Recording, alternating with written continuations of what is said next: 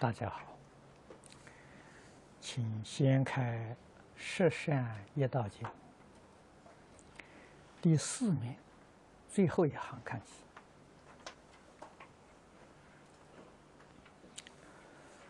如今当知，如是修学，业令众生了达因果，修习善业。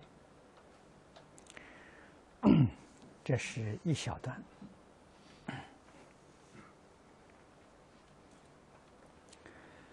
世尊到这个地方呢，劝勉我们。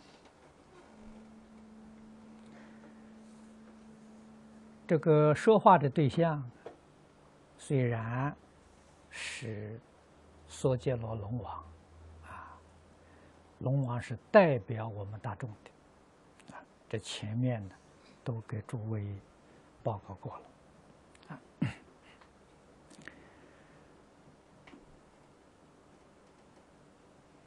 第一句话就是勉励我们。当应，现在你应当要做的，如是修学。这个“如是”两个字是彻前彻后。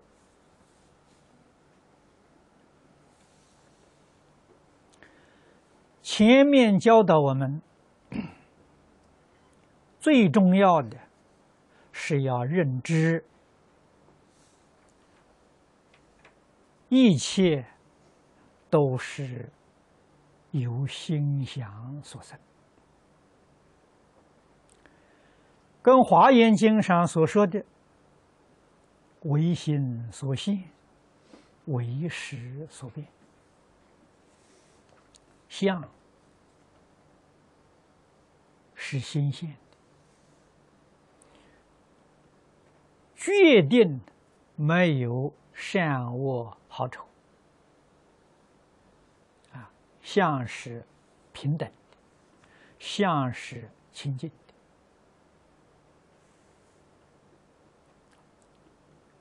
清净平等的妙相啊，佛经上也讲妙色。为什么会变成这么复杂？这是由心想所生的，啊，这个后面说的就更具体了。一切皆由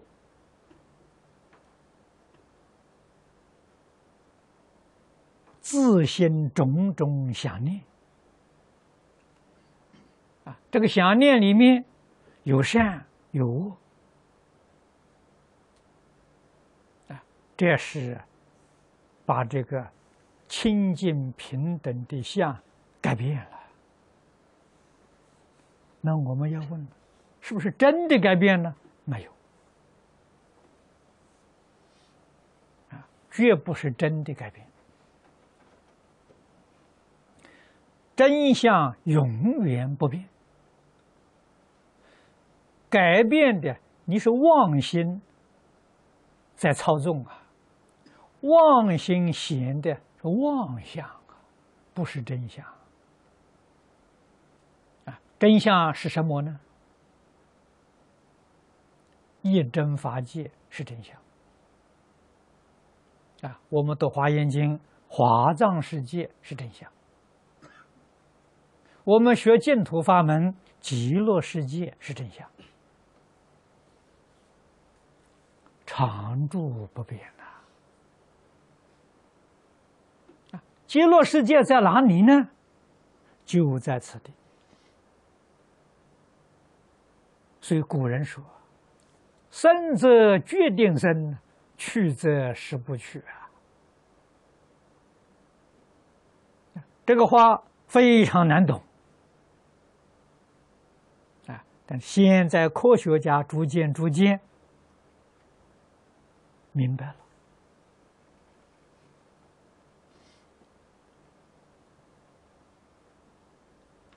科学家说是不同维次的空间，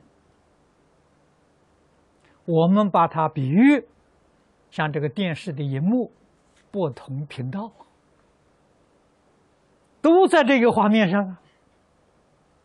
啊，你按哪个频道啊，这个像就出现了。啊，这是佛家常说的设法界，一法界现，啊，现的像，设法界隐。啊，就像那个电视荧幕一样，我十个频道，我按一个频道，这个频道的像现前了，其他九个频道啊都不见了，啊，都隐没了，啊，换一个频道，啊，另外一个像出现了，啊，这个像呢又隐没了，都在一起呀，没有分开呀，啊，十法界、百法界、千法界是一个法界。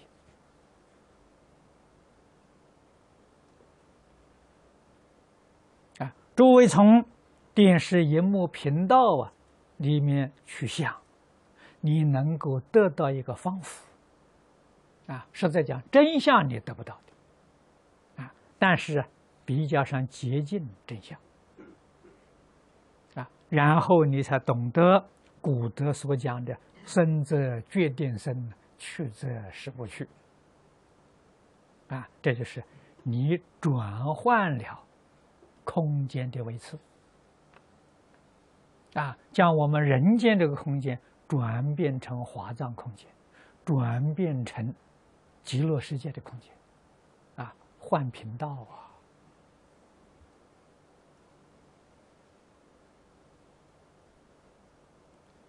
按钮在哪里呢？按钮在起心动念。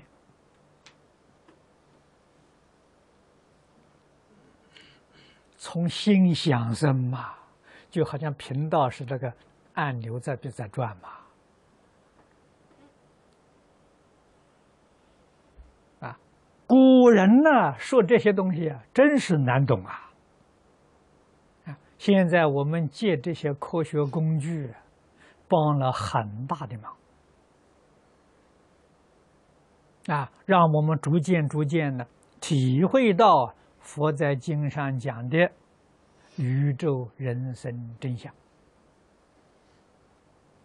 啊，佛家的说术语，所谓是十法界一真庄严。我们通达明了，如是修学。这个地方，如是特别重视的，应修善业。佛在前面所讲的，不但自己应当如实修学，啊，亦令众生了达因果。了是明了，达是通达。佛教的基础就是建立在。因果的教学上，因果是事实，绝对不是迷信。啊，种瓜一定得瓜，种豆一定得豆。啊，瓜子是因呐，结成瓜是果，这叫因果。所以，世间法。佛家讲出世间法，佛法都是因果啊，事出世间法离不开因果啊。《法华经》一成因果，《华严经》五洲因果。你看看哪一部经论不是讲因果呢？种善因一定得善果，啊，人心善、念善、行善，必定得善的报应呐，啊，得善报啊！你对别人好，人家也对你好啊，啊，敬人者，人很敬之。敬人是善因，别人在尊敬我们是善果，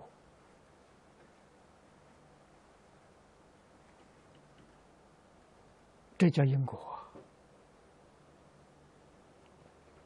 我们以恶意对人，就是恶因，人家回报对我们是恶果，人家也以恶来报我们呐。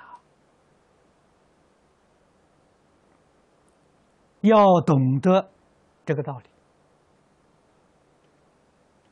啊！对于了达因果，说的很具体，说的很详细的。《了凡四训》是很好的一本书啊！过去印光大师在世，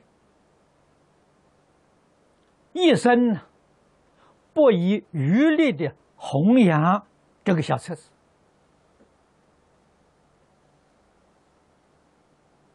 在当时那个环境里面，我是概略的估计。他老人家一生《了凡四训》印了一百多万册，啊，那个时候印刷书不像现在这么发达，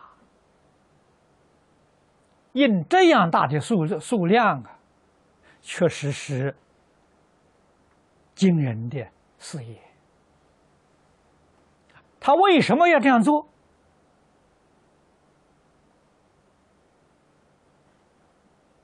他有真实智慧，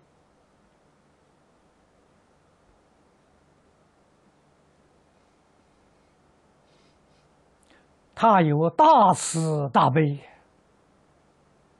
知道挽救先前这个社会，儒家伦理道德的教育啊崩溃了。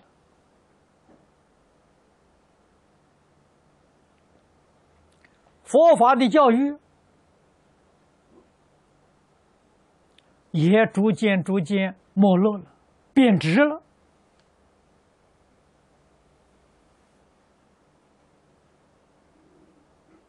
啊，学校教育着重在科技，着重在工商经济，人文的教育疏忽了。啊，这个世间可以富裕，但是必定是灾难重重。科技发达到一定的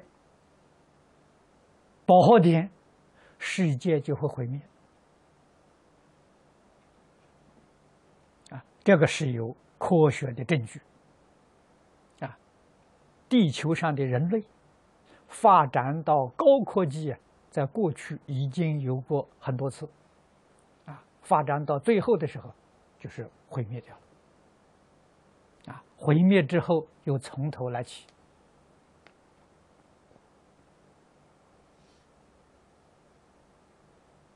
啊，那我们今天的发展的时候，就如同过去这个这个模式差不多了，啊，挽救之道。还是伦理道德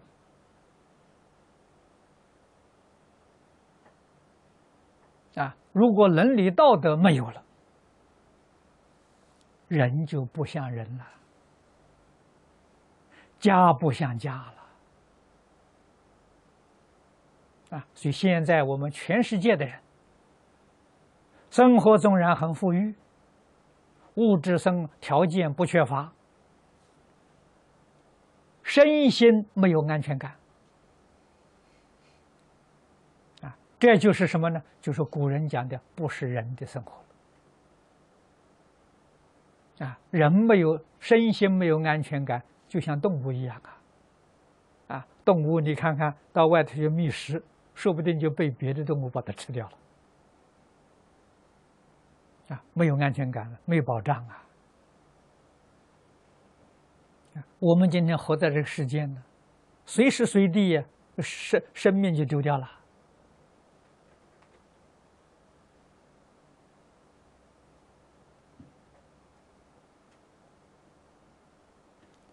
这些道理、事实真相不能不明了，不能不通达。所以，印足一生弘扬《了凡四训》，有道理呀！啊，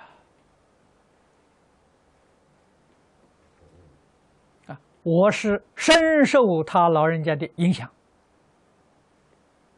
啊，我跟他没有见面。啊，他是我们再上一代。啊，我的佛法跟李炳南老居士学的，李老师是他的学生。啊，是印度的学生。啊，所以我们的经宗是跟苏州楞严山寺一脉相承。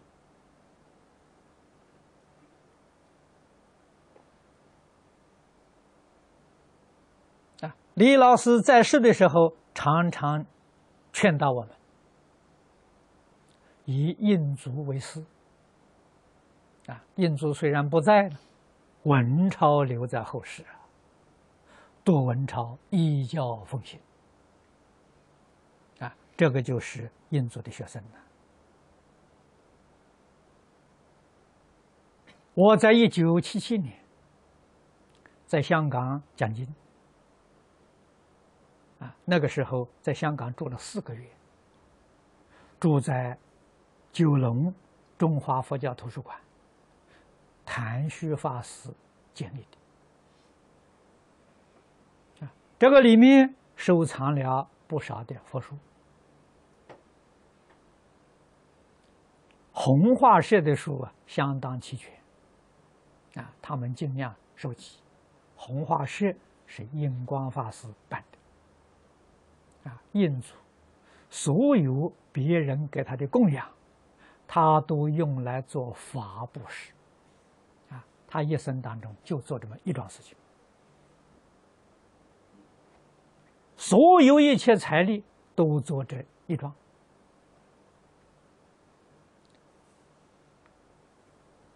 这个对我影响都很大。我们看。上海护国西灾法会的开示，啊，这是老和尚公开跟大家讲开示，一生当中就这么一次，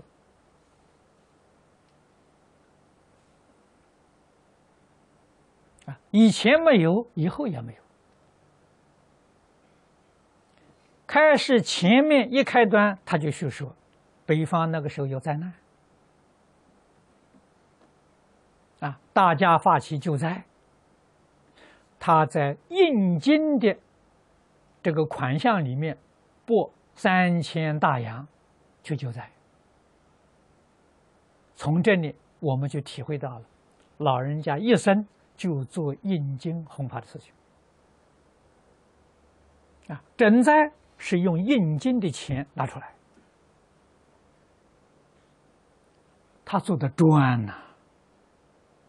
他不砸了。现在我们看有个道场啊，分成好多个部门，啊，有印经的，也有就这个瓷器的啊，分成好多科目，印足只有一个科目，没有第二科目。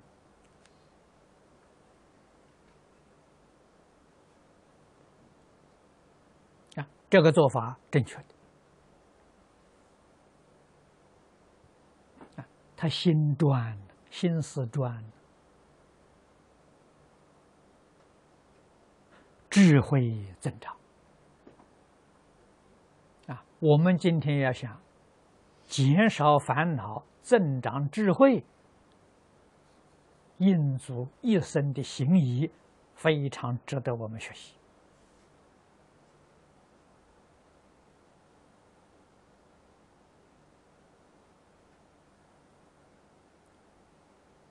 他一生倡导的三种东西啊。第一个是《了凡四训》，《了凡四训》是教我们了达因果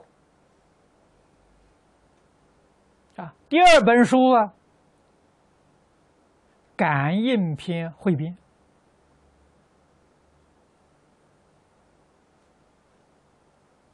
啊，这是道教的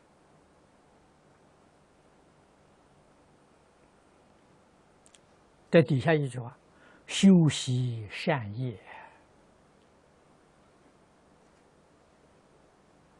啊，善恶的标准在哪里呢？感应篇讲的好。他为什么不用佛经？佛经说的太散了，啊，散在许多经论里头，而感应篇里面可以说把佛经里头所讲的些善恶都集中了。啊，也等于是汇集集中了，这个好。啊，用感应篇汇编做标准，断一切恶，修一切善。用安世全书啊，作为修习善业的总结。《安世全书》里面有四种东西。第一篇，文昌帝君阴之文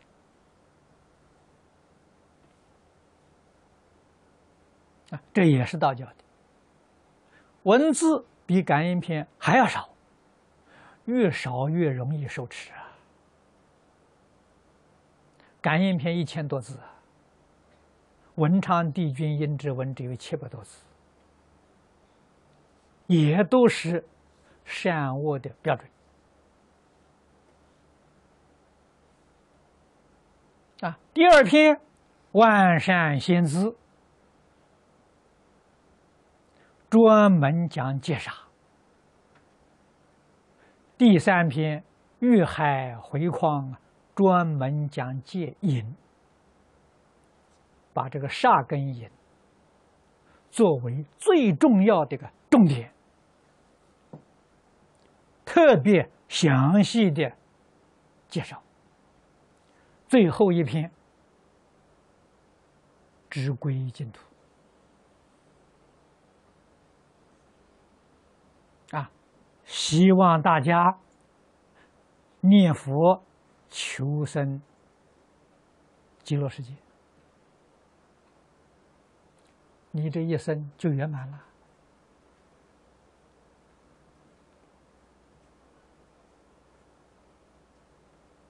那么这三样东西都是中国人做的，啊，都不是从印度传来的，不是翻译的。我们念起来很顺口啊，啊，读这个书很习惯的。它不是翻译本的，整个佛法的精髓就在其中啊！所以我们今天借着感应篇来跟诸位介绍十善业道经。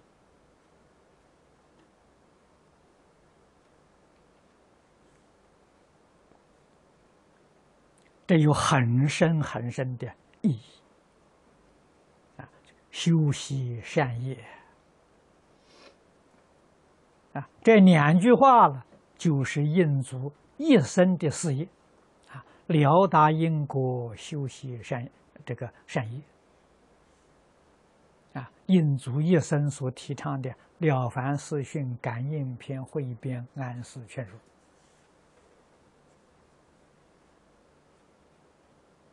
如果没有缘接触到佛法，有这三部书，你的一生果然能够相信、能够理解、能够依教奉行，你决定往生作佛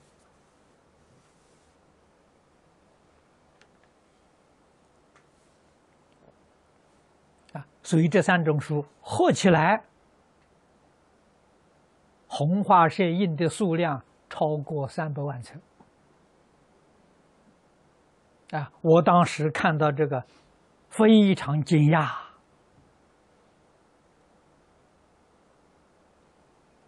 我那个时候常常想啊，印光大师是一代的祖师啊，为什么不弘扬佛经呢？去弘扬这个东西啊！佛经他们也印，数量都很少。啊，为什么这三部书是这样大量的在流通？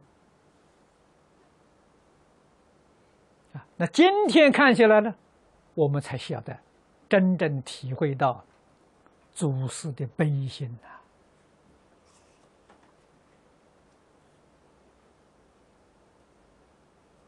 佛经说的太深了，能够读诵、能够理解的人不多。这三种书容易理解、容易看、容易懂，啊，完全是切机切理，广度苦难众生呐。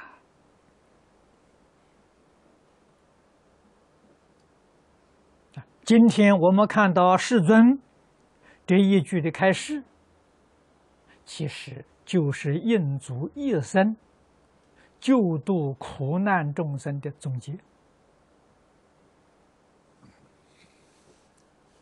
言语非常简单，意思太深太深了，深广无尽呐。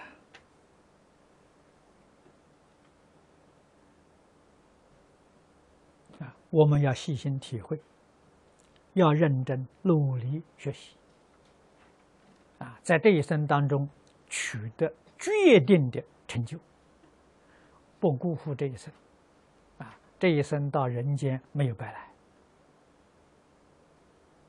来，啊，我们目标啊就达到了。好，今天时间到了。